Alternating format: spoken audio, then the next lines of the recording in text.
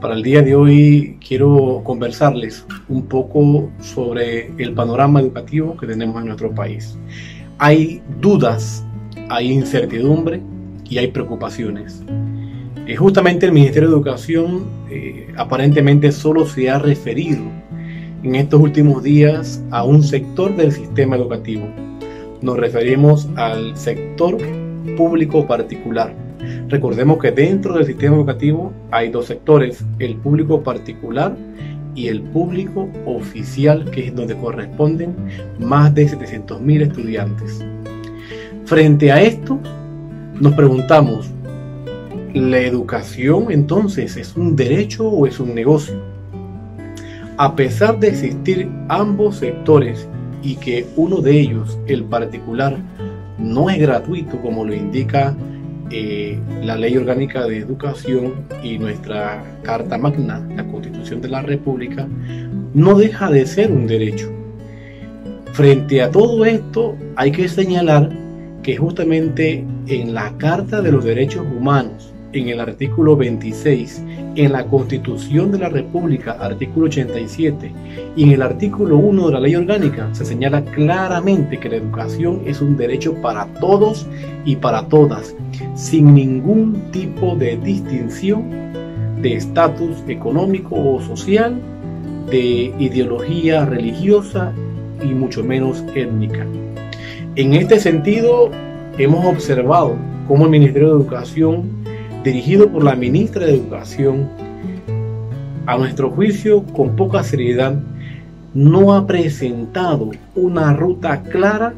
para que todo el sistema sea llevado en medio de esta pandemia. Aparentemente evidencia como único interés entonces es solucionar los problemas presentados en el sector particular o privado en donde a pesar de haber anunciado días atrás una suspensión total por parte de la ministra de Educación, una suspensión para el sector público particular, y de esta forma añadiéndolos para unificar a ambos sectores, justamente el público oficial y el público particular, en una sola, una sola medida o decisión, se da entonces la anulación de esta disposición, a pesar de haber sido presentada formalmente y oficialmente a la faz del país por parte del presidente de la República, quien anuncia que posteriormente se iban a hacer evaluaciones para ver si estas escuelas particulares continuaban o no con esta modalidad, lo cual a nuestro juicio es totalmente contraproducente para un sistema que requiere una sola línea. En medio de la pandemia, se presentan módulos y las plataformas virtuales, que en su momento el sistema educativo acogió en las dos facciones, particulares y públicas oficiales. Las públicas oficiales, al verse suspendidas las clases y al no tener ningún tipo de manejo virtual, tuvo entonces que segregarse de esta disposición. Sin embargo, algunas escuelas particulares continuaron, las que justamente Señalábamos en ocasiones anteriores que no contaban con el cumplimiento de requisitos y de estándares para que esta técnica virtual fuese eficiente y eficaz. En su momento los módulos fueron concebidos o presentados como una metodología para la, enseñanza y la recolección de evaluaciones, lo cual al final tuvo que ser desmeritado por la propia ministra, que al final señaló que los módulos solamente eran para eh, reforzamiento y para que el estudiantado se mantuviese entretenido en casa. Sin embargo, las plataformas virtuales continuaron sin contar con el cumplimiento de varios elementos. Uno de ellos, la sincronía. La sincronía es la capacidad de interacción en ambas vías, docente-estudiante, estudiante-docente y entre estudiantes. Justamente eso no se estaba cumpliendo. Y por supuesto que eh, aunado a esto el hecho de que cómo pretender establecer esta rigurosidad ante una población estudiantil que aproximadamente es de unos 160 mil estudiantes desde parvulario 1 hasta duodécimo que pertenecen a lo que es la educación pública particular, cómo saber si todos tienen acceso a internet y cuentan también con la tecnología necesaria para tener esa sincronía. Hoy por hoy, cuando recibimos algunas quejas por parte de padres de familia que se habían quedado sin empleo, sin capacidad de hacerle frente a las mensualidades, aunado este, el, la gran acumulación de tareas que justamente eran llevadas a manera de comunicación por plataformas que no eran sincrónicas, sino asincrónicas, porque eran informativas, observamos con gran preocupación justamente lo que se estaba desarrollando y denunciamos públicamente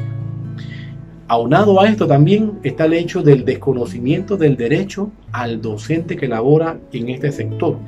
al cual se le ha, vulnerado sus derechos. Por una parte han cesado contratos, por otra parte le han dado licencias sin sueldo y en otros casos pues se les ha mantenido con un salario mínimo o inferior justamente porque no se tiene una regularidad en este momento de la pandemia. A nuestro juicio, la ministra de Educación debió mantener la unificación de criterios, buscando la manera en que el Estado pudiese ayudar aún más que lo hace, el Estado ayuda, el gobierno a través de su administración ayuda a las escuelas particulares por ley, eh, ya que por ley se consagra de esa forma. Eh, un porcentaje de docentes que laboran en estas escuelas particulares son pagados por el erario público y también da otros apoyos y estipendios. En esa medida, el panorama hacia una propuesta educativa nos tocará construirla a todos y a todas los panameños en este país, justamente porque nuestro sistema educativo tiene que corresponder a lo que señala la Carta Magna, la Carta de los Derechos Humanos y nuestra ley orgánica. Equidad e igualdad, igualdad para todos y todas a lo largo y ancho de Panamá. De esta forma, entonces, hacemos un llamado al gobierno que ha anunciado a través de la ministra que va a llevar a cabo una plataforma para todos, para que incluya a todos. Esperemos que así sea. Una plataforma que logre acercar justamente eh, de manera virtual a todos los estudiantes del país sin distinción alguna, dándoles evidentemente lo que es el acceso al Internet y el equipamiento necesario. Recordemos que solos, cuando nos concentremos de manera unificada